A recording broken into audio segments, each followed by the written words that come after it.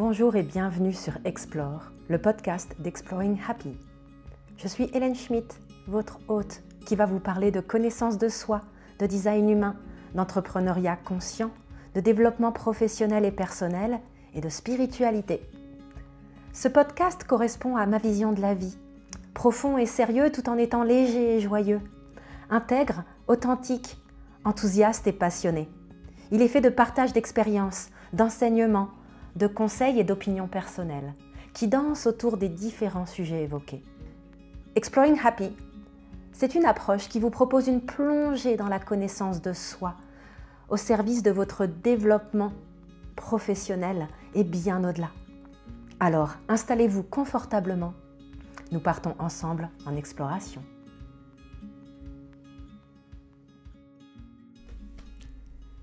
Dans cette Conversation inspirée, je reçois Virginie Laubé, qui est une accompagnatrice slash coach belge, avec qui j'ai rapidement créé un joli lien.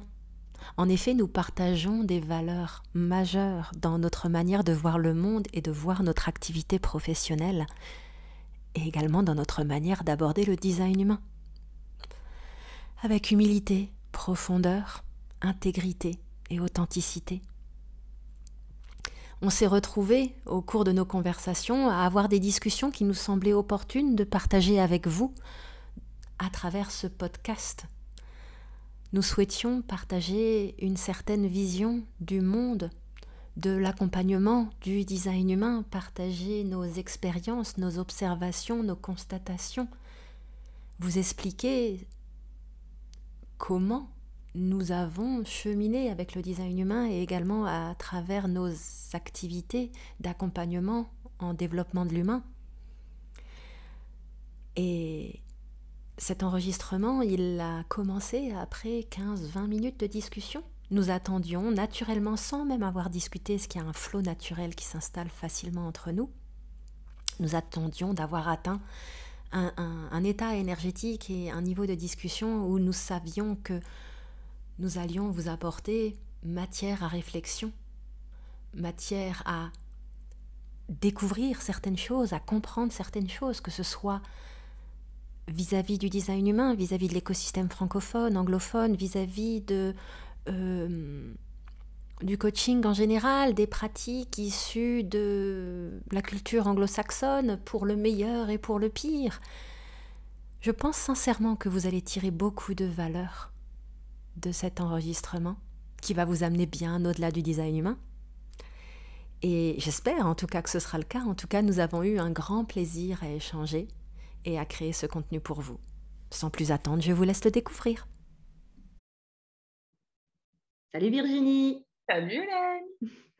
bonjour tout le monde.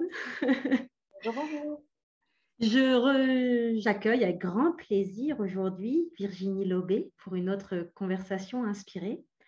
Et je viens d'appuyer sur enregistrer parce que euh, Virginie et moi, on discutait de tout et de rien depuis une petite demi-heure et on a senti qu'on arrivait dans le cœur du sujet des différentes choses qu'on aimerait partager avec vous. Alors, on n'a pas d'agenda particulier. Par contre, euh, on a une énergie récurrente dans nos discussions et une, expérience euh, commune qui est très porteuse pour l'une et pour l'autre.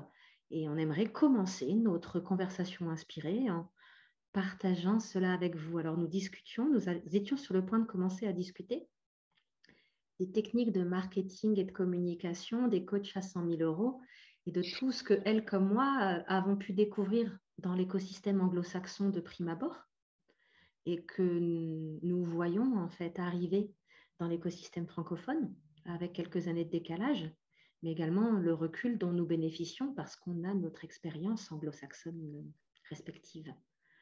Qu'est-ce que tu allais me dire, Virginie? Tu veux en dire un petit peu plus sur... Euh, on, va essayer de faire un petit rewind peut-être. Euh, on, parlait euh, d'éthique dans le coaching notamment, et puis on parlait aussi de, de, nos peurs à chacune, du manque, et puis du rapport à l'argent, etc. Et puis du fait que, euh, moi j'évoquais le, fait que euh, euh, j'ai vraiment failli tomber dans tous les pièges, parce que c'est une machinerie extrêmement bien rodée que tout ça. et que au fur et à mesure qu'on rentre dans la, connaissance de son propre design, on, se rend compte à quel point ces techniques marketing très standardisées, je, ne dirais pas que tout est nécessairement à jeter dans ces, systèmes de comment faire 100 mmh cas à l'année, mais que par contre, il faut avoir beaucoup de conscience de soi pour, pour, pour, savoir où on met les pieds quand on achète ce genre de, ce genre de programme et je ne suis pas certaine que ça convienne à tout le monde.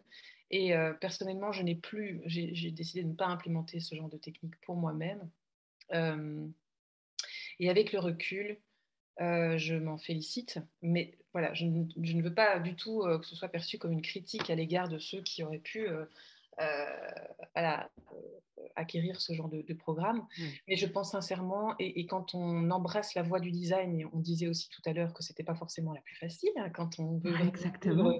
La, la, la, réalité de son design personnel, on se rend compte que euh, euh, voilà, l'abondance, l'argent, le rapport à, et, toutes ces, ces, tunnels de vente et ces process, etc., c'est vraiment très important de, de, trouver une recette qui marche pour soi et que appliquer des, préceptes euh, euh, des, homogénéisés, des modèles homogénéisés, on retombe dans ces pièges. Euh, voilà, que, on se rend compte qu'il y a toute cette modélisation homogène qui, dans le milieu du coaching, en fait, n'est que le reflet de ce qui se passe à un niveau macro. Mmh.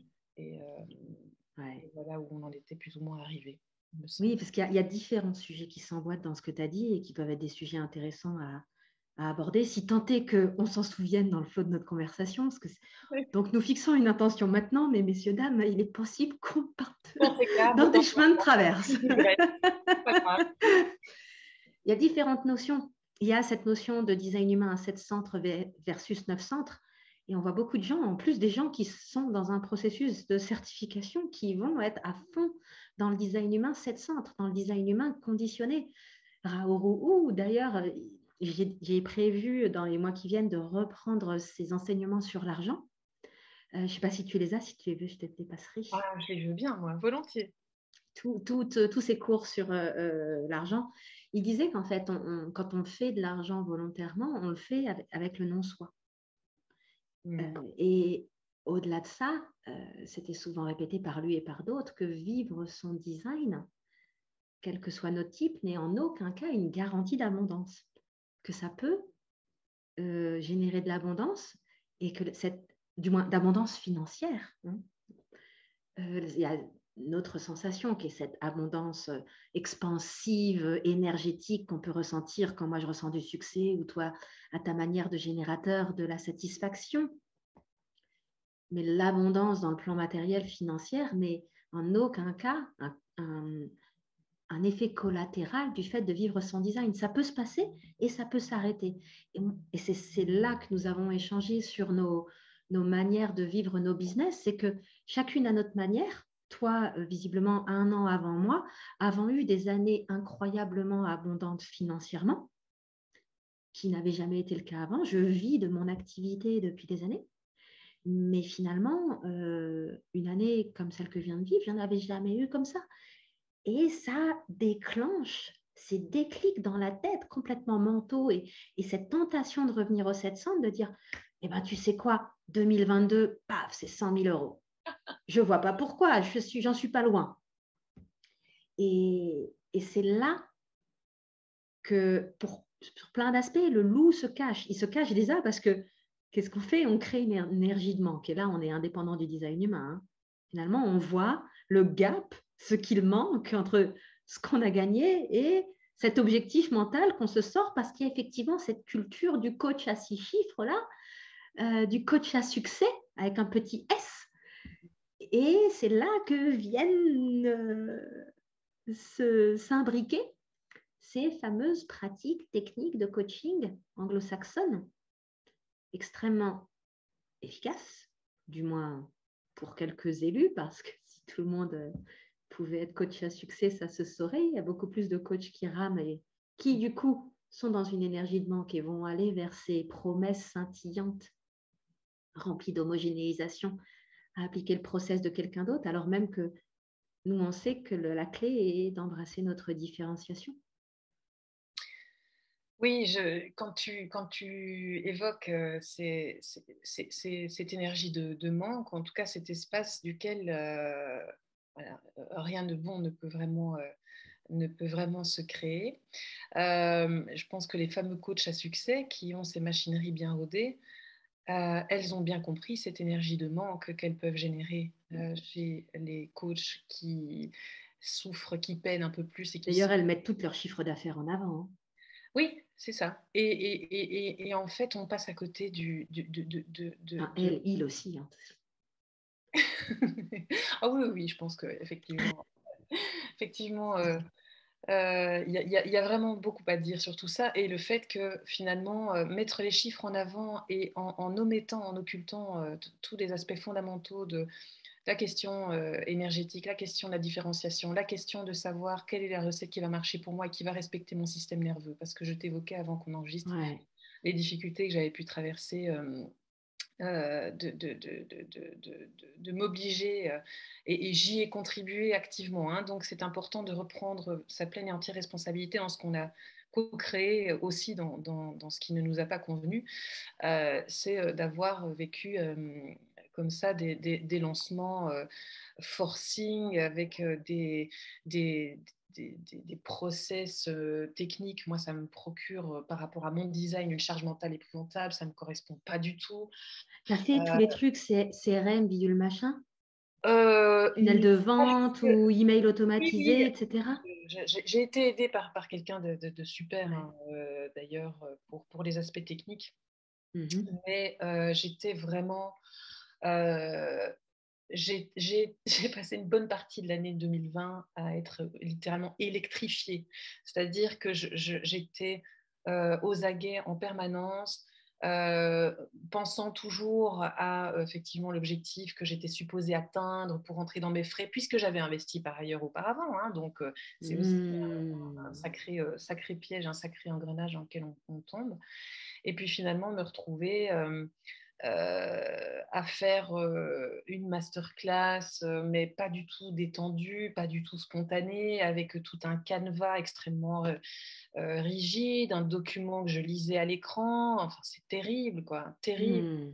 Mmh. et c'était une expérience vraiment intéressante et je suis vraiment contente de l'avoir vécue, de l'avoir traversée parce que je peux mesurer aujourd'hui que même si mon année n'est pas du tout similaire à, l'année dernière, sur le plan voilà, de, ce que j'ai mis en place, de, ce que j'ai vécu, du type de coaching qui s'est mis en place, etc., j'ai pu vivre ces, derniers mois qui n'étaient pas forcément faciles pour, pour personne, dans un autre confort, parce que j'étais, j'étais, je me suis beaucoup plus respectée, beaucoup plus mmh. respectée. ça, trouver cet équilibre. Mmh. et je l'ai bien senti, hein, cette bascule, cette électrisation dont tu mmh. parles. Et mmh pourtant, je ne suis pas générateur, euh, mais je pense que cette électrisation, elle vient, d'ailleurs, elle vient, elle, vient de notre mental qui fait putain, ouais, ça y est, ça y est, c'est en train de se passer. Sur l'accélérateur. Il faut que j'y aille, c'est maintenant. Et je ne peux pas rater le coche, sinon c'est la catastrophe. Je vais, je vais, euh, je vais d'abord soit perdre plein d'argent, soit je ne vais pas faire l'objectif que je m'étais euh, fixé. Et alors, ce sera un échec. Et puis, on a mmh. notre petit, hamster qui tourne fou dans sa roue. Quoi. Et, c'est justement, pour moi, il y a deux moments de vulnérabilité quand on est euh, dans l'industrie de l'accompagnement, du coaching euh, euh, au sens large. C'est quand on est entrepreneur débutant et que ben, est dans cet inconfort de ne pas être encore au, encore au clair et que hum, on va avoir envie de croire aux promesses qu'en faisant ce programme pendant six mois ou pendant un an, tu vas être abondante. Et là, on parle de programmes à 5-10 000 euros. Moi, des, gens que j'ai vu des... Le, le, pompon, j'ai un client que je coach en ce moment qui, avant de venir à moi, a investi 40 000 euros. Il a fait tous les programmes. Euh, soit francophone ou anglophone, euh, David Laroche, Mind Valley, enfin, mm-hmm. euh, et il n'y a pas que du mal qu'il en a tiré. Mais il se rend compte maintenant que, en fait, ces usines à coach sont des usines à homogénéisation. Entre-temps, il a découvert le design Et maintenant, il est en train de, se guérir de tout ça, de se guérir de toutes ces injonctions, de se guérir de t'as la gagne et, vas-y et, crée la vie de tes rêves, vie de tes rêves complètement mentalement créée. Et, il a ce recul qui est intéressant. Et, quelque part, il fallait qu'il passe par tout ça. Et puis, il avait les moyens de passer par tout ça. Euh, et, encore une fois, tout n'est sûrement pas acheté, même si je sais pas trop, moi, David, enfin, David Laroche, c'est. Enfin, je sais pas, moi, je l'ai vu arriver. Euh, euh, j'avais déjà un certain recul sur la scène, donc euh, je connais pas ce garçon, il a l'air très gentil.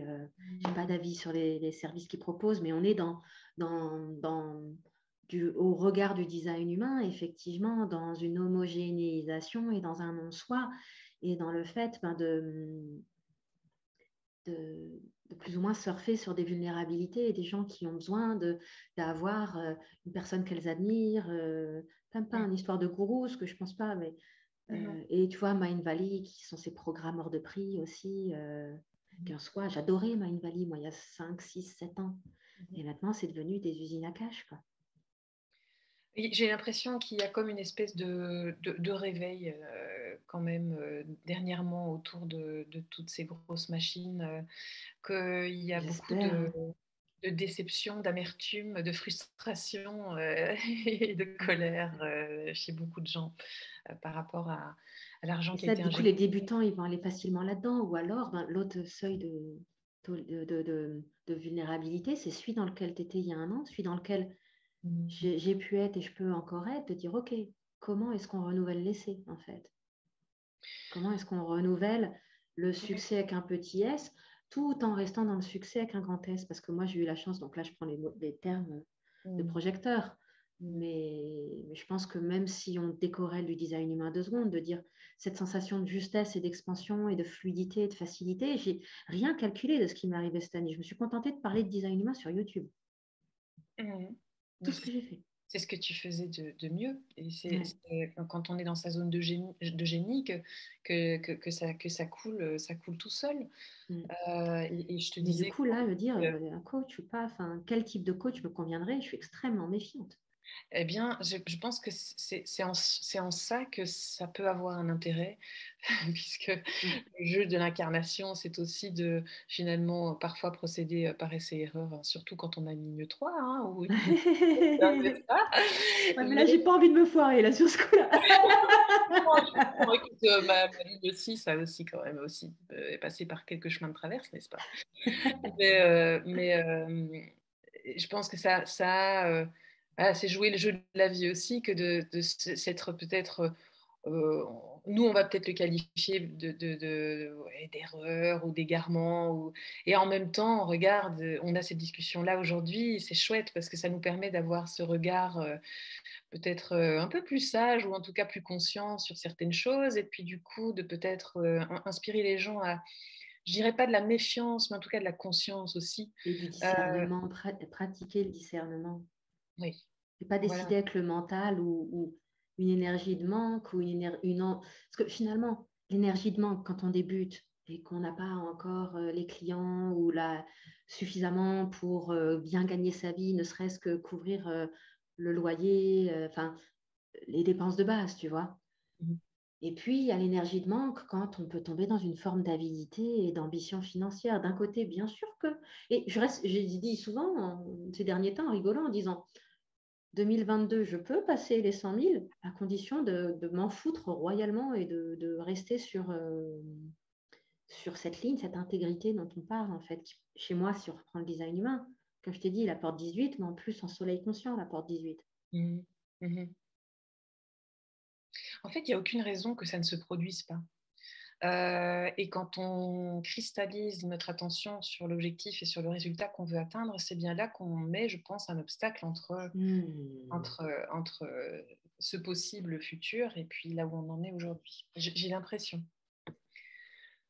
C'est vraiment ce que je viens d'expérimenter avec ce lancement que j'ai fait sans effort. C'est euh, en fait, c'est laisser faire, laisser venir, laisser, laisser, laisser la vie. Euh, faire le lancement pour toi. Mmh. moi, j'ai expérimenté d'autres trucs avec Projecteur Attitude, parce que c'était concomitant avec mon lancement d'Instagram, qui a été en plus concomitant. Hein. Je veux dire, je mûrissais mon, apparition sur Insta depuis des mois, comme tu le sais.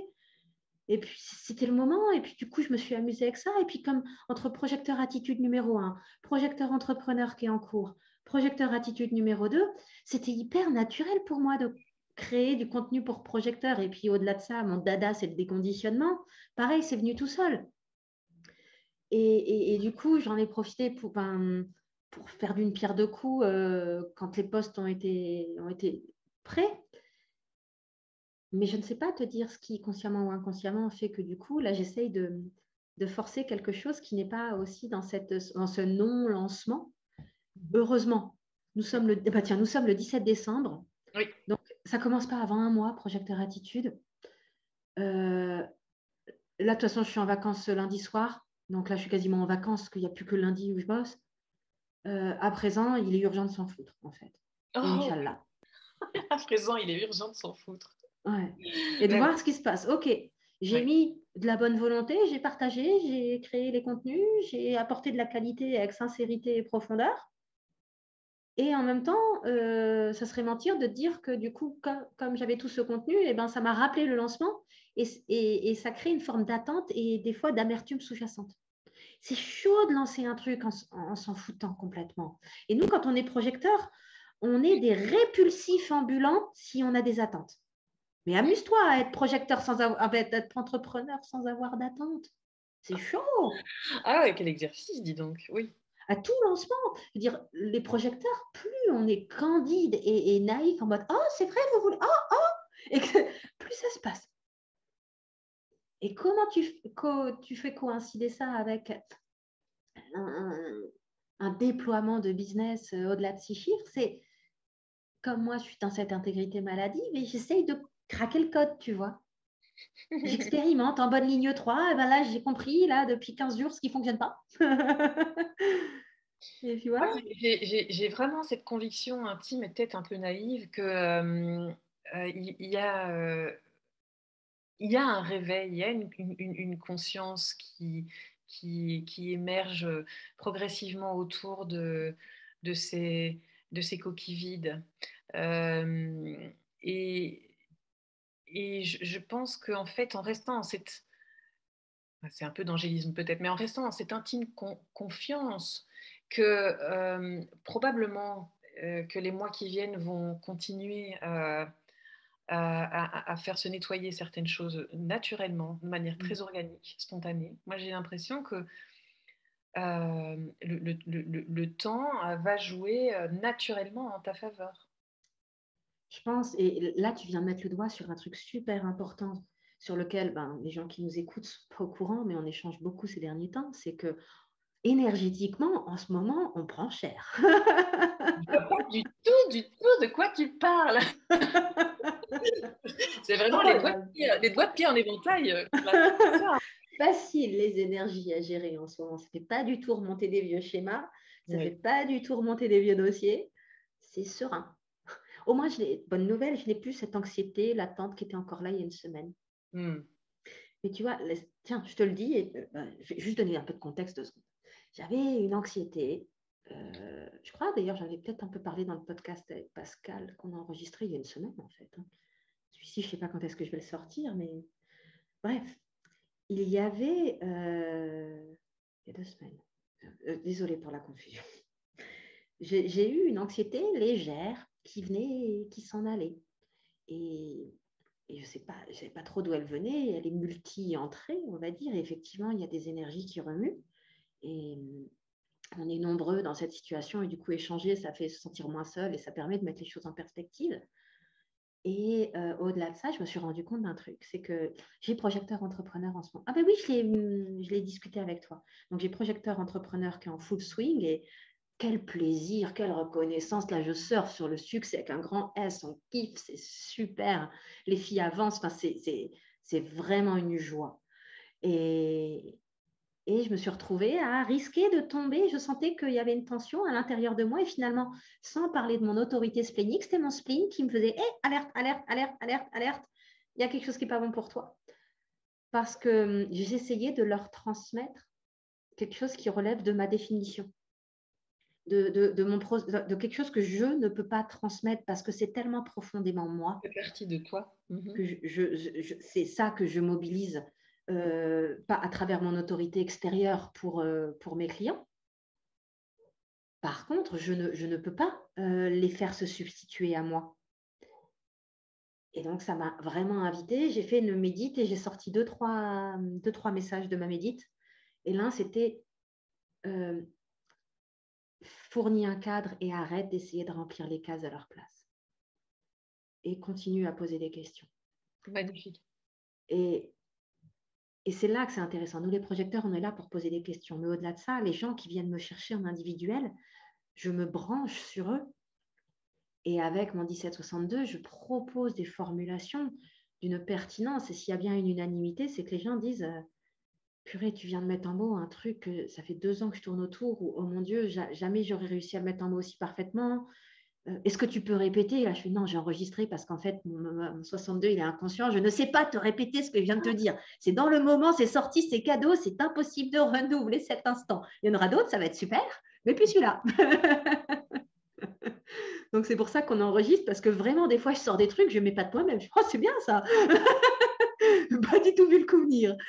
Et, donc, euh, eh bien ça, ça, c'est le cadeau qui se passe quand les gens viennent se brancher sur moi. Et du coup, ils ont toute cette confusion liée à un business, toute cette chose. Et moi, crac, il y a quelque chose qui fait que on mène l'enquête en machin et tout d'un coup, paf, je leur sors le truc. Mais ce ne sont que des propositions, des reformulations. Après, je les fais réagir, je les fais interagir. Mais à l'échelle d'un groupe, je ne peux pas faire ça. Et il ne faut surtout pas que j'essaye de faire ça. Parce que soit, du coup, je vais tomber dans mon ego non défini qui va essayer de trouver sa valeur et je vais hyper compenser par sentiment de ne pas donner assez de valeur ou de ne pas avoir assez de valeur. Mhm. Et là, j'ai pris le contre-pied et j'ai complètement changé euh, le déroulé des, des, trois sessions restantes en disant arrête d'essayer de faire ça. Fournis-leur le cadre, fournis-leur le guide, fournis-leur les questions, fournis-leur la sagesse. J'ai les flèches qui, des mes variables qui pointent à droite. Donc, right mind, right brain. Et, je suis là pour être un puits dans lequel ils vont, ils vont, mmh, mmh, mmh. Euh, vraiment puiser avec leurs questions. Et basta. L'anxiété a disparu. Et tu as déjà eu une session depuis? Du coup, j'ai eu la session, donc là, on enregistre, on est vendredi. J'ai eu la session hier jeudi, où j'ai répondu du coup à leurs questions. Et par contre, les, deux, les, sessions où j'aurais risqué de me stretcher, c'est les deux qui vont avoir lieu en janvier. Mmh. C'est parce que je l'ai préparé déjà maintenant, tu vois, pour préparer un peu le cadre. Et c'est dans l'énergie de préparation que je sentais qu'il y avait un obstacle, il y avait quelque chose qui n'était pas fluide. Et heureusement que j'ai pu leur parler avec le discours design humain, heureusement que ma ligne 3 a aucun problème à dire Hé, là j'ai eu de l'anxiété et j'ai commencé à avoir ma racine qui se retournait contre moi et qui m'a mis la pression. Je me suis mis la pression toute seule. Mon ego non défini a commencé à essayer de prouver sa valeur et se serait retrouvé à hyper compenser euh, parce que j'étais dans quelque chose qui n'était pas correct pour moi et pour mon design. J'ai eu la capacité de reconnaître ça, parce que j'ai appliqué cette gymnastique d'inspecter mon en-soi, de me connaître, de connaître suffisamment mon design, de connaître suffisamment mon en-soi. Et du coup, ben, ça, ça apporte beaucoup de valeur aussi, tu vois, dans le groupe, hein, aux gens qui j'accompagne. Quand je leur dis, ben, voilà, voilà concrètement comment le design humain, entre autres, peut vous être utile au quotidien dans votre projet entrepreneurial. J'adore quand on articule le design humain avec la vraie vie, quoi. On n'est pas là pour remplir notre cerveau de, beaux, concepts et de et d'aller euh, manger les petits bonbons du design euh, pour euh, se mettre un truc sous la dent sans vraiment le, vivre, l'incarner, quitte à se casser de temps en temps la figure. Mais c'est comme ça qu'on apprend. Et, c'est génial comme, comme euh, cette capacité que tu as pu avoir de d'alchimiser finalement ces difficultés et les transformer en quelque chose de potentiellement euh, soutenant pour le groupe. C'est ça, c'était une pour toi d'abord, et pour toi d'abord, et pour, pour, le groupe ensuite. Mais euh, design humain et méditation, ça fait un bon combo. et bioénergie. et bioénergie cette, notion de euh, les, terrains faibles qu'on va avoir, euh, on appelle ça les perturbations des terrains profonds qui vont être liées à du l'ancestral ou du karmique. Là, on part encore dans un autre trip hein, quand on va sur ce genre de choses. Mais, oui, mais bon, on peut, euh, dire, nous, qu'on est, on est, on, ne ferme la porte à rien. Et en fait, nous, tant qu'on peut, tant qu'on peut soutenir euh, la, personne, le groupe avec euh, les techniques qu'on maîtrise, ma foi. Bah, c'est pour ça que tu le fais maintenant. Maintenant, euh, toi, tes, groupes, c'est en présentiel. Tu intègres donc les soins énergétiques à tes accompagnements maintenant je, le fais, en fait, euh, oui, dans mes accompagnements individuels. Mais ici, moi, je suis plutôt dans une perspective de refaire du groupe en présentiel, en tout cas. Mmh. Euh, des petits groupes intimistes hein, avec ma, 59. J'ai vraiment ce, goût de, revenir en quelque chose de très cocon en physique. mais je ne sais plus pourquoi on parlait de ça. Euh, de, la, complémentarité en fait de l'approche énergétique vis-à-vis de la compréhension du non-soi en design humain et du travail euh, des conditionnements. ce que je réalise, c'est que dès qu'on devient dogmatique, c'est problématique. Mmh. Euh, et, que l'histoire des 100 cas, c'est quelque chose qui pour moi devient dogmatique. Quand on ah, c'est la grande mode. Quand on détient euh, soi-disant euh, la clé, le mystère, le grand mystère de, la fortune. On est dans le dogme, on est dans la gouroutisation, on est justement dans, le, dans le fait de laisser son pouvoir euh, à l'autre. Et donc ici, moi, l'idée, c'est je m'ouvre à tout, je ne m'enferme dans rien. Le design reste une voie voilà, d'expérimentation qui, ne souffre quand même pas trop l'approximation et qui nécessite d'être très présent à soi tout le temps. Mais ça n'empêche pas que dans le soutien à l'autre, dans le groupe ou dans le, ou dans l'individu et dans l'accompagnement en général, euh, je peux avoir euh, envie de tirer une carte, je peux avoir envie de faire un, soin énergétique, je peux avoir mmh. envie de, de, faire euh, une séance de FT, je peux avoir envie de faire un peu d'oponopono aussi. Et, et, en fait, je pense que moi, de mon point de vue, ma croyance, c'est que c'est l'avenir de l'accompagnement. C'est c'est écouter la formule qui, qui, est la plus ajustée pour nous, dans laquelle on a le plus de kiff, euh, dans laquelle on se sent la plus experte pour un projecteur, euh, avec aussi du plaisir bien sûr. Et puis euh, moi, ma, satisfaction, le fait de sentir vraiment qu'une session peut m'énergiser, que je peux être fatiguée avant la session, mais que la session m'énergise presque, tout simplement parce que je, dans l'instant, j'ai décidé d'utiliser cet outil-là, cet outil-là, cet outil-là, cet outil-là. On est vraiment en train d'évoluer, je crois, vers des pratiques très holistiques où chacune et chacun va créer un peu sa propre recette qui lui ressemble et qui va attirer à lui la fractale qui est juste. C'est ça. Et ceci étant dit, sans transiger sur l'intégrité du design humain. C'est-à-dire que tu peux ajouter d'autres outils, mais tu ne prends pas juste un morceau de design humain en le mélangeant à la loi de l'attraction et je ne sais quoi. En fait, c'est oh. euh, Là, on parle d'outils de soutien et je suis complètement tellement d'accord avec toi. Moi, la bioénergie va euh, rejoindre euh, l'offre euh, d'accompagnement individuel parce que euh, c'est un outil fabuleux pour faire péter des blocages. Il n'y a pas 36 solutions pour faire péter des blocages. Un, le travail de déconditionnement. Hein. Mhm. Et ça, ça ne se fait pas en un claquement de doigts. Donc, quelqu'un qui vient bloquer à moi, je sais lui dire exactement quoi faire pour se débloquer. Mais je sais aussi lui dire que, sauf gros déclic, ça ne va pas se passer pendant la temporalité de l'accompagnement. Eh je sais euh, des fois les aider sur des points ponctuels, je sais les faire contourner et les faire changer aussi l'histoire et, et, du coup débloquer automatiquement, mais des blocages vraiment profonds, mhm. ça peut passer que par un, autre outil. L'EFT peut des fois faire effectivement des, des, des miracles. Oponopono est une technique que j'affectionne beaucoup. Tu vois, j'ai commencé à écrire euh, ce livre sur comment travailler sur soi, avec ou sans le, le design humain. Le, le, déconditionnement en design humain étant quelque part sera peut-être la colonne vertébrale du bouquin, je ne sais pas encore, mais effectivement, je vais parler de tout un tas de techniques soutien complémentaires. Et puis surtout, euh, comment euh, en faire euh, un état d'esprit au quotidien. Mmh. Pas forcément une pratique scolaire, tout le temps, mais un état d'esprit au quotidien. Et créer en fait une gymnastique dans ta tête, de t'apprendre à comprendre ton eau-soi, de te choper et de décider en conscience de ce que tu décides de faire vis-à-vis de celui-ci. Est-ce que ce sera une méditation? Est-ce que ce sera un check du non-soi? Est-ce que ce sera euh, un EFT Est-ce que c'est un soin énergétique? Est-ce que c'est euh, d'aller faire un tour en nature? Euh, Même si ça, ça va. Bref, il y a plein, plein, plein, plein, plein, plein de choses. et avant tout, c'est une résilience face à Oh, tiens, signal d'alarme, frustration, amertume, ceci, cela, telle sensation. Et donc, pour revenir aux soins énergétiques, j'ai pas, j'ai pas ou très rarement, très très rarement des clients en présentiel.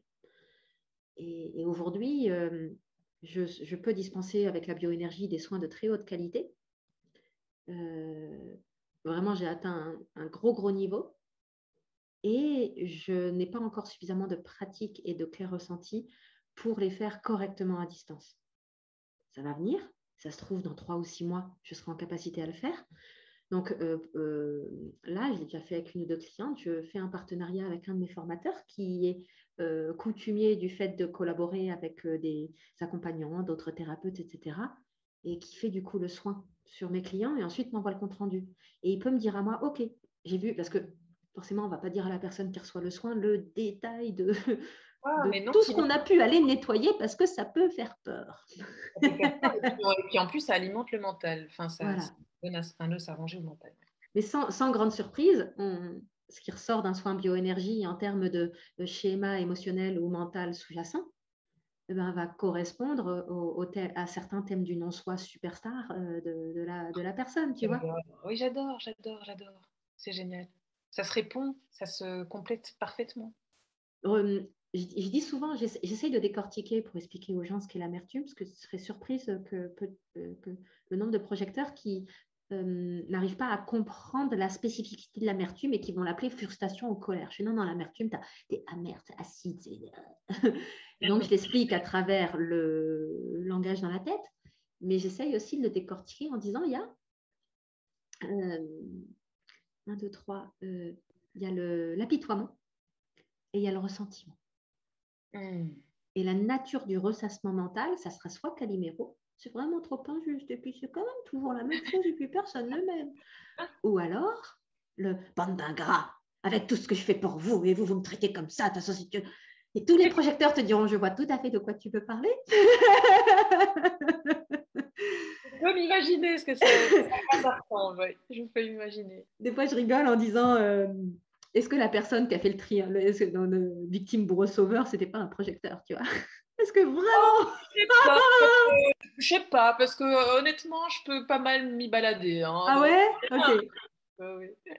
Du coup, j'en rigole. Hein, euh, là, c'est complètement ma tête ouverte qui fait Tiens, une question pas intéressante qu'on va passer du temps à essayer d'y répondre. non plus, je vois pas du tout ce que tu veux dire. Mais quand même. Et donc, euh, ben, sans grande surprise, les schémas de ressentiment et d'apitoiement sont de euh, des terrains faibles qui sont vraiment réguliers euh, chez moi. Hmm. Et... Mais ce que j'aime euh, à dire à, à, mes, à, mes, à, mes, clients, aux personnes que j'accompagne, c'est qu'au fond, dans cette vie de, de, de, de dualité, ce sont des signaux super précieux, en fait, tous ces hmm. signaux parce que voilà, si on ne connaissait pas l'amertume ou la, ou la, frustration, on serait incapable de connaître euh, la, euh, le succès et la satisfaction.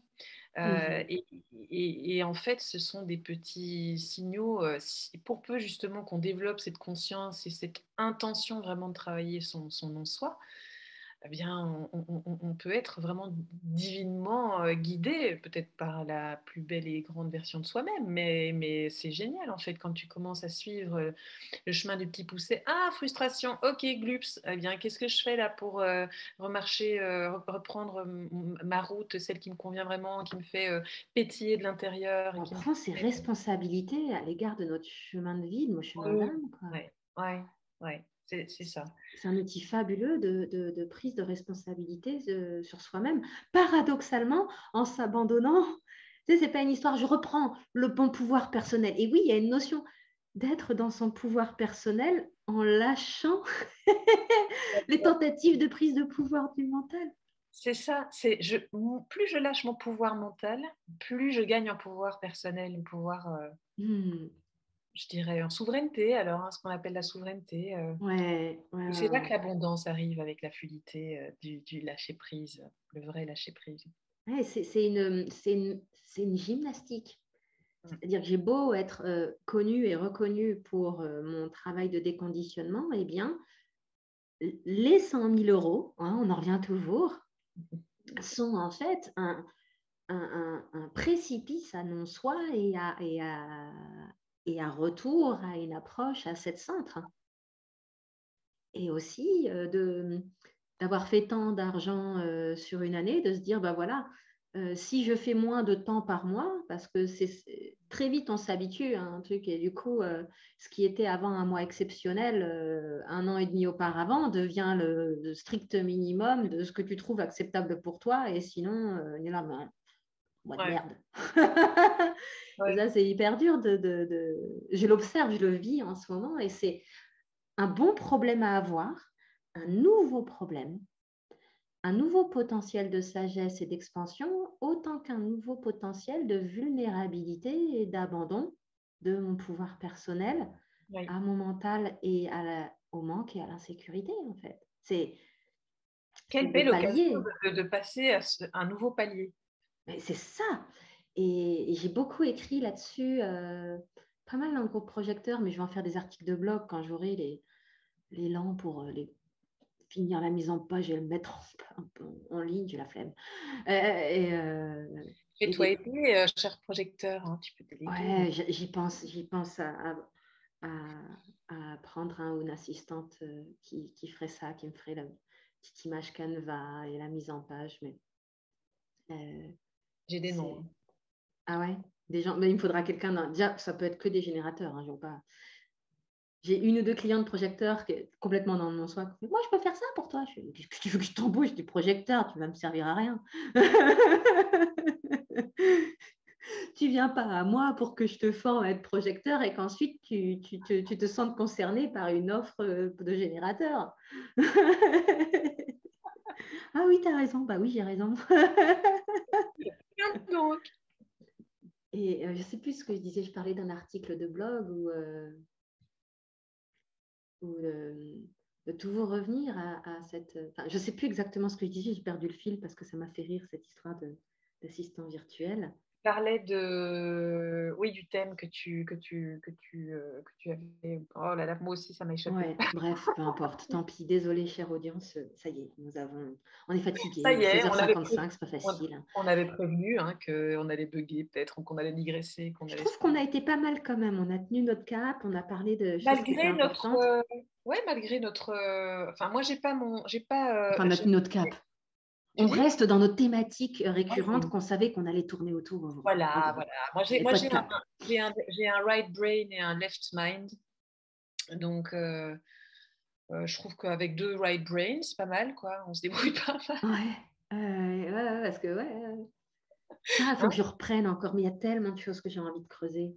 Il y a une chose puisque du coup j'ai perdu le fil de cet article de blog qui, du tout, du coup, mesdames et messieurs, guettez mon blog à un moment donné en janvier, ce sera en ligne. C'est génial. Voilà, on n'a pas pu faire un meilleur. Euh, je ne sais plus de quoi je voulais vous parler, mais ce sera en ligne bientôt parce que c'est Ça va être génial. Mais j'ai oublié. Ce que moi j'écris, je fais ah, c'est super et après j'oublie. La splénique dans toute sa splendeur je saisis hein, ces moments de, vraiment d'inspiration, d'écriture, parce que ah c'est vraiment un moment où tout d'un coup la plume est là, ah, le ah style est là. aussi, complètement traversé par un truc, et alors c'est maintenant, quoi. C'est maintenant, maintenant, et c'est c'est très troublant parce que si je suis en, voiture, tu vois, ah, il faut absolument que j'écrive là-dessus. Je, je, vais, je, a priori, je vais prendre mon, mon, mon, dictaphone, commencer à me. Ça, je fais ça à mort. Ouais et j'utilise cette, cette, application euh, je crois. Ah, pour dicter? Ouais, j'ai mis un, des crédits dessus et je balance mes, mes vocaux qui sont sur mon téléphone et ça part. Euh, et euh, c'est parfait, on est très content. Ça fait tout tout seul, c'est très chouette. Ah, tu me, diras, tu me donneras les infos. Ah, ouais, ouais, si tu es comme moi, mes vocaux, les mémos vocaux, c'est la vie. J'en ai des, des, des, dizaines sur mon téléphone. Il y a un truc dont tu me parlais, dont je trouve que c'est intéressant qu'on leur parle aux gens qui nous écoutent. je suis sûre qu'ils sont passionnés, qu'ils sont encore là. Euh, tu m'as parlé du. C'était pas du HD paillettes, c'était quoi? Ah C'est quoi ton expression? Attends, je vais te la dire, mais c'est, attention, je, veux, je veux être juste là aussi. Euh, c'est, pas de moi, hein, d'accord? C'est quelque chose que j'ai vu euh, et qui m'a vraiment, euh, que je trouvais assez éloquent. c'est ce qu'on appelle le pop HD. Ah, le pop HD. Le pop HD. Et le pop, la pop, c'est fluo, c'est attractif. facile à digérer, euh, qu'on croit qu'il va te mettre des paillettes dans ta life euh, et que tu vas euh, effectivement euh, et donc, on, l'a évoqué peut-être à demi-mot, je ne crois pas qu'on ait été très explicite sur le, là-dessus en, particulier, mais manifester 100 000, manifester la vie terrestre, manifester. Manifester avec le human design, personne ne manifeste avec le design. Ah non, euh, ah non allez, tada on vous casse le truc, mais en vrai, c'est ça. Alors, j'ai même lu, attends, pour, aller jusqu'au bout, des manifesteurs qui vont grincer des dents euh, en entendant ça, je crois. Mm. Euh, même eux peuvent manifester au sens de la loi de l'attraction, manifestation. Voilà, c'est ça, c'est ça. Euh, donc il y a quand même toujours cette juste temporalité qui est importante à respecter. On, est quand même, on est quand même des humains, quoi on est quand même des humains, on est quand même mmh. à la loi de, la vie, au cycle, euh, certains plus que d'autres, et puis euh, voilà. Mais, euh, et donc, je parlais de Popedji parce que ce, ce, dont on parlait avec les, coachs à, 100K, et puis le, côté pyramidal aussi de tout ça, eh bien, ça se retrouve aussi beaucoup, beaucoup dans le monde du human design, surtout j'allais dire surtout anglo-saxon, mais plus, plus que, mmh. en fait. Bah oui, ça, ça, arrive en France, en fait. Et, et, moi, j'essaie de me préserver de ça en regardant pas ce qui se passe, parce que sinon, ça me rend amère. Mon radar à intégrité, il fait c'est pas correct, c'est pas correct, c'est pas correct.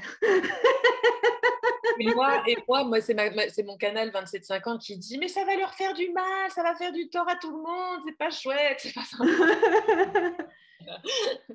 non, c'est. Euh, bah, le truc, c'est que moi, je vois dans ces fameux coachs à succès, c'est que je reconnais en eux une homogénéisation que j'ai identifiée il y a 6 ou 7 ans en arrière quand j'évoluais dans les écosystèmes anglo-saxons ultra spirituels qui sont tous ces coachs à succès qui t'envoient leur lifestyle à Bali dans la tronche. Et moi, j'habitais à Bali. Et j'étais entourée de certaines de ces nénettes, certaines qui étaient vraiment richissimes, d'autres qui étaient en fake it till you make it. Donc, pour ceux qui ne parlent pas anglais, faites semblant jusqu'à ce que vous y arriviez. Euh, c'est juste que ça résonne plus sympa en anglais. Et, et toutes ces personnes sont coachées par les mêmes personnes, des coachs à 20, 30 000 euros l'année, qui en fait retravaillent leurs clients à un niveau. Il y a une forme de d'homogénéisation et presque presque de brainwashing, parce que finalement, euh, il y a effectivement un cap où on va investir dans des coachs plus chers et des coachs plus chers. Mais la question, c'est pourquoi on investit dans ces gens-là et si on les investit pour les 100K ou le, million? Et finalement, euh, en France, je regarde très peu, encore une fois, parce que quand je regarde, ça, ça me terrifie, parce que ça me rappelle des souvenirs de ce dont j'ai été témoin et failli être victime plus d'une fois. Parce que c'est j'ai vraiment eu des coachs à succès anglo-saxons qui ont essayé d'abuser de ma vulnérabilité et qui ont essayé de, me vendre des programmes de groupe à 5000 dollars qui étaient homogénéisés au possible avec un quart d'heure d'entretien découverte où tu avais la ricaine euh, It's amazing tu vois, qui te parle et qui te dit que oh, on a tellement connecté. Non, non, je suis désolée, on n'a pas connecté. Et si tu lui dis non, eh ben, elle t'envoie un pote commun qui rentre, tu sais, tu lui fermes la porte, elle essaye de rentrer par la fenêtre par des moyens détournés. Et c'est des techniques très douces et très discrètes. Ah, et, très... Et, le truc, c'est que je vois ça arriver en France. Je vois tout le monde qui s'y précipite parce mmh. qu'ils n'ont pas encore ce recul sur l'industrie du coaching que toi et moi pouvons avoir. Et je ne suis pas en train de dire que ces coachs ne sont pas compétents. Absolument pas. en fait, j'en sais rien. Je ne les connais pas mais je reconnais des techniques homogénéisées et des manipulations subtiles. Et je suis même pas sûre que les coachs qui appliquent ces techniques sont conscients qu'ils manipulent euh, leurs clients parce qu'ils sont tellement persuadés du bien fondé de ce qu'ils proposent, parce qu'ils sont tellement fait pumper par leur propre coach à eux à 20 ou 30 000 euros par mois qu'il y a à un moment donné quelque chose qui... Ça sonne faux. Oui, et en même temps, il y a une espèce de transe comme ça. Il y a, il y a comme une espèce d'hypnose collective dans cette oui. Euh, et, et, je comprends hein, qu'on puisse être euh, euh, happé parfois complètement engluée dans je pense à des personnes en particulier, on ne les nommera pas, parce qu'effectivement, c'est probablement potentiellement aussi des très, des très, bons coachs, mais sur le procédé, c'est questionnant, quoi. C'est mmh. questionnant parce que moi, j'ai quand, parce que moi je suis tombée dans ces pièges que tu. Que tu euh, ouais, toi, t'as raqué, ouais. moi, j'ai bien merdé. Et c'était, euh, oui, j'étais pourtant pas dans ma, ma première phase de, de, ligne 6. Ah ouais, t'avais déjà passé la trentaine. J'étais déjà sur le toit, moi, mais bon. Ouais, mais c'est ça le truc, c'est qu'il y a quand même encore beaucoup d'expérimentation, même entre 30 et 50 oui, ans. Bah, évidemment, de toute façon, je crois que ça fait partie de, ça fait partie de la vie. Hein. Mais euh, oui, il y a une espèce de, de transe, de transe comme ça, d'hypnose, de et donc, effectivement, pas forcément de conscience que ça, ça peut nuire ou, que que c'est pas éthique, ou donc il n'y a vraiment pas forcément de malveillance, on n'en sait rien. Non, il n'y en a pas, je pense pas. Mais moi, euh, par contre, euh, j'ai dû vraiment euh, avoir une période de convalescence, vraiment, de, mmh. de, de, comme de nettoyage de tout ce que j'avais ingurgité, qui était tellement, tellement pas moi, que j'ai dû passer ouais, un, certain, certain temps, hein, quelques semaines, quelques mois, à, revenir dans mon jus, à vraiment revenir dans mon jus, euh, avec mon centre G complètement ouvert. Euh, j'ai vraiment, vraiment dû renourrir mon environnement, j'ai vraiment dû euh, redevenir très picky par rapport aux gens que, dont, j'avais envie d'être mmh. entourée. J'ai dû mmh. retravailler une question qui m'a accompagné toute ma vie, qui, que je continue d'explorer, que je continuerai jusqu'au bout à explorer, c'est la question des limites. Quoi. et donc, le fait de m'extraire de, de, de, ces relations-là et de cette toxicité-là, euh, bah, tu reviens euh, avec toi-même, toute seule. Voilà, euh, tu te dis, ok, bon. Mais c'est bien en fait, parce que c'est à ce moment-là qu'il y a peut-être l'opportunité de, redémarrer de nouveau d'une page blanche et de remettre à plat tes vrais désirs, mais pas des désirs du non-soi, c'est vraiment qu'est-ce qui m'anime mmh. profondément, c'est quoi ma vraie nature, dans quoi est-ce que je suis la plus heureuse, la plus épanouie à chaque instant avec mon sacral et avec mon splénique, puisque c'est les deux centres que j'ai. Qu'est-ce qui m'anime là tout de suite et, et, euh, et, et, advienne que pourra, si 100 cas arrivent, ma foi, je ne vais pas dire non. Hein. on est très content, on serait très content. et je trouve qu'il y a vraiment voilà, ce rapport à l'argent, à la peur du manque, euh, à la peur de réussir, à la peur de l'échec, etc. etc. C'est des grandes questions. Hein. Euh, mmh. mais, mais c'est vrai qu'il y a un truc dont il faut se décomplexer par rapport à l'argent. C'est vrai, dans l'accompagnement, je n'ai pas envie qu'on. c'est Ouais, enfin, c'est un gros morceau, le rapport à l'argent, gros, gros, gros morceau. Et dans l'accompagnement, dans l'aide, etc., il y a cette croyance que, voilà, il y a quelque chose, euh, euh, ouvrir son cœur, donner, donner, donner, donner, donner. Euh, oui, mais bon, pour être un bon accompagnant, il faut aussi être rétribué à hauteur. Ouais. Et reconnu, et valorisé, et valorisé pour la plus-value que toi tu apportes, etc., etc. Ça, c'est, ça, c'est un, vrai chemin et, on parlait, tu vois, de, cap et, de moments d'alchimie et de moments de, chrysalide et de nouvelle expansion. Et moi, je sens que je suis dans un de ces caps, tu vois, où, surtout pour un projecteur, euh, pas surtout, on va dire, euh, le projecteur a, a, une capacité à guider euh, particulière et a très peu d'énergie et, a été tellement conditionné euh, qu'il met vraiment du temps à comprendre. Et c'est pour ça que je fais les programmes que je fais pour projecteurs. C'est pas parce que tu écoutes tes projecteurs avec tes guides et que ça tombe bien, tu étais déjà coach, que tu es en train d'être dans ta nature de projecteur. Pas du tout. Mmh, mmh, mmh, Par contre, plus on apprend à, comprendre ce que c'est notre puissance de projecteur, et, et, quand on apprend à autoriser cette, cette état d'être de projecteur, qu'on travaille activement à se déconditionner et qu'on arrive à guider dans cette justesse, waouh, la puissance qu'on peut présenter pour autrui. Mmh. Et, également, et eh ben, même si on sent le succès et qu'on se branche énergétiquement, le, coût énergétique que ça a de guider les gens, il est important. Et, j'ai vraiment des itérations progressives de réalisation de ma puissance et, qui vont avec des moments d'augmentation de mes tarifs. Mmh. Mmh Parce que euh, je, plus je comprends les finesses, là c'est impossible à mettre en mots, hein. plus je comprends la finesse de, de ce que c'est de guider en tant que projecteur et la valeur que je peux apporter aux gens quand j'ai l'opportunité de me plonger pleinement sur eux, moins je veux prendre de clients et plus je veux être en mode semi-immersif avec très peu de clients, mais en, qualité. Très, haut niveau de qualité. Mmh. Et donc là, à partir de janvier, je vais prendre moins de clients et augmenter mes tarifs et accompagner plus longtemps. Et ça me fait peur. et en même temps, je sais que c'est juste, mais mon mental, il est en mode, mais ça va pas, mais personne ne va payer. Alors qu'en fait, à chaque fois que j'ai eu ces moments-là, euh, c'est les moments où la bascule se fait et les clients reviennent. Et un autre type de client. À chaque bascule financière, je ne dis pas que je vais faire ça sans fin jusqu'au 100K. jusqu'au 100K, 100 l'année pour travailler avec Hélène. Il y a des coachs qui coûtent, euh, et moi j'en ai connu hein, des gens, j'ai connu des gens absolument brillants, hein, Bali, hein. euh, des gens euh, qui, à qui bosser avec eux une journée en immersion avec eux, c'est entre 1000 et 2000 dollars. Oui, oh oui, oui. Bon, écoute, moi j'ai, bon, ben là c'était, moins qualitatif. J'ai eu une session d'une heure, non, 75 minutes, 75 minutes pour les Belges, mmh à 888 euros. Ah ouais. en fait, non, je viens, attends, je viens, juste de refaire le calcul dans ma tête. Parce que dans ma tête, je me disais, mais attends, si tu regardes un peu ton horaire, moi, c'est ce que ça te coûterait une journée en immersion. Avec moi, ça coûterait au moins 1000 balles. Euh, je dis plutôt 1000, 1000, balles l'heure. 1000 balles l'heure. C'est le... J'avais 1000, 1000 euros en tête, mais c'est 1000 euros l'heure, pardon, 1000 euros l'heure. Autant pour moi. 1000 euros la journée, ça, ça peut, ça peut, ça peut. Ça peut. Ouais, ça peut, en fait. En, le disant, je me suis dit, mais attends, c'était pas ça, non, c'était 1000, 1000 euros l'heure. Bah ouais. Bah et, ça, euh, c'est quelque chose. Hein. Et, si c'est une heure qui change ta vie, ma foi, hein, bon.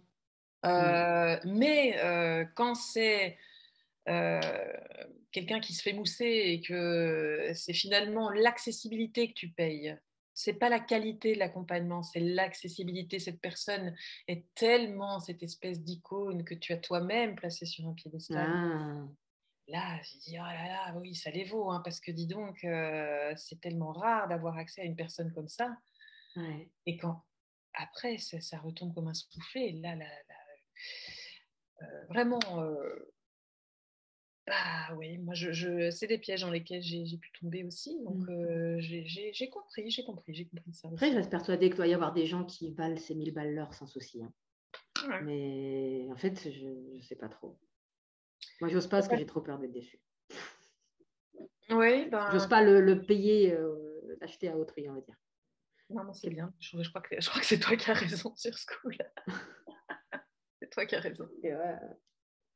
Ouais, non, mais c'est marrant parce que je me rends compte qu'on a toutes les deux l'ego indéfini. Hein, donc, euh, question d'argent, euh, évidemment, qu'elles sont, euh, elles sont, euh, elles sont bien prégnantes chez nous. Hein.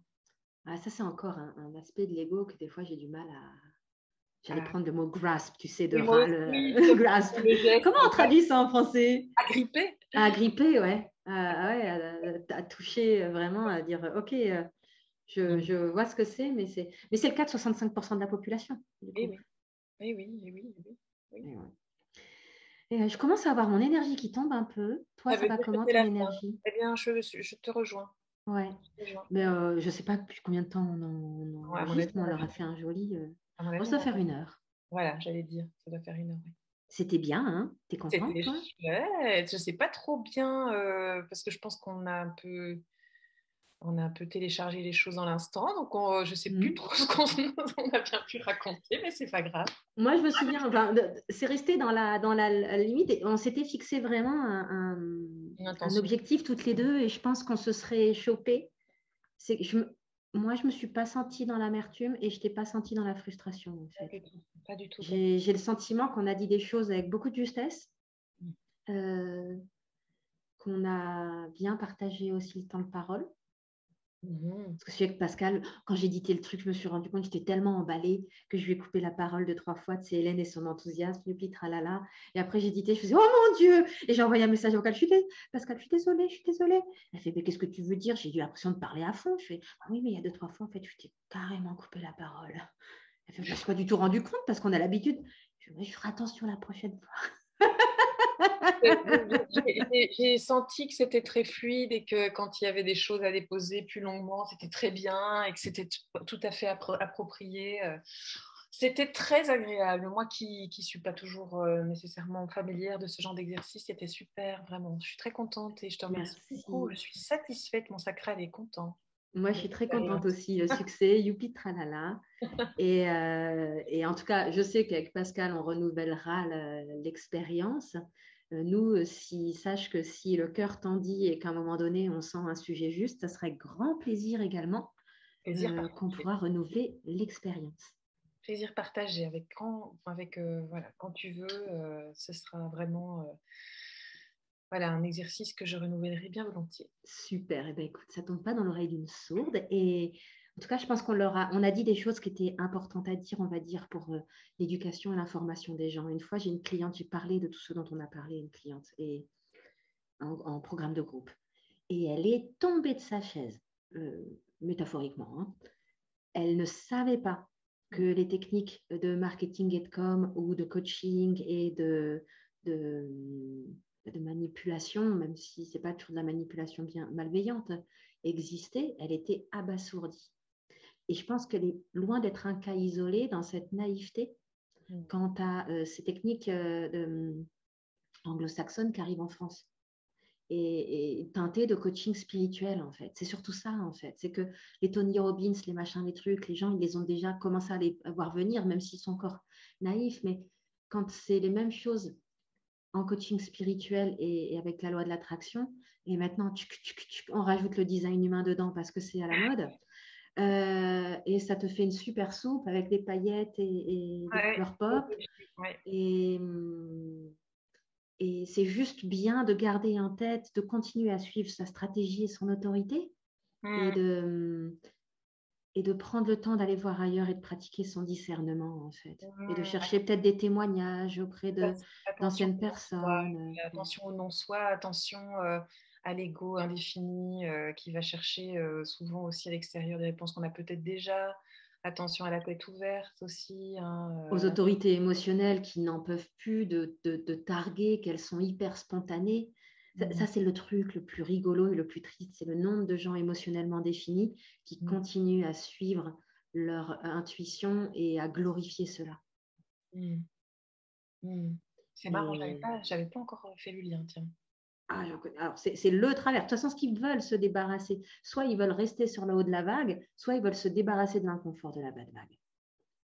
Et du coup, ils veulent se sortir de leur vague, alors même qu'elle est là à vie. Euh, le haut, le bas, le haut, le bas. Oh. Et, la, la, compulsion à la spontanéité est exacerbée chez les gens émotionnellement définis, chez qui, paradoxalement, la vérité n'est jamais dans le moment. Oh. Eh ben. J'ose à peine imaginer le combo avec le splénique euh, indéfini. Euh, oui, mais même avec le splénique défini, parce qu'il y a des gens qui sont spléniquement définis et émotionnellement définis. Donc, ils ont à la fois accès à cette survie dans le moment et cette intuition et, instinct dans le moment, qui sont deux choses différentes, intuition, instinct, tout en étant émotionnellement définis. Ça veut dire qu'il y a des moments, sans avoir répondu ou sans avoir été reconnu et invité, ils vont avoir une intuition qui est fiable et qu'il faut écouter, c'est la survie maintenant. Mais en aucun cas, c'est leur outil de prise de décision. Et les deux cohabitent. C'est pas leur autorité. Ouais. que quand on a le splénique et, le plexus défini, c'est le plexus qui domine. Exactement. Je te souhaite une bonne soirée, ma chère Virginie. Et toi aussi, Hélène. C'était vraiment. À bientôt. Ciao.